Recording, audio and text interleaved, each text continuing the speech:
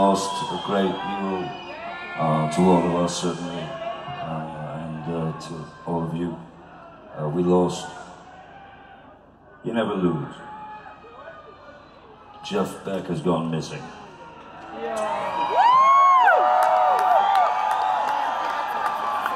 And I have no doubt he's having a great time. However, I'd like to introduce you to one of Jeff's best friends in the world.